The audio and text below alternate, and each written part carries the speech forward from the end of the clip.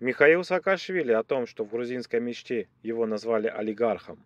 Главная шутка вчерашнего дня. Власти объявили, что я являюсь олигархом.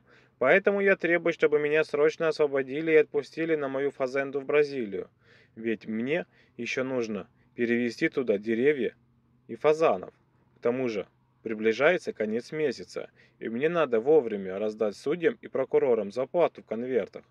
Правда, каждый из них богаче, чем я – но надеюсь, что раз мне присвоили титул олигарха, банк Кредит Сьюз быстренько перечислит мне причадающие миллиарды. Пост на фейсбуке страницы Михаила Саакашвили стал ответом на заявление председателя партии грузинской мечты Иракли Кабахидзе, в котором он назвал известным олигархом экс-президента Михаила Саакашвили.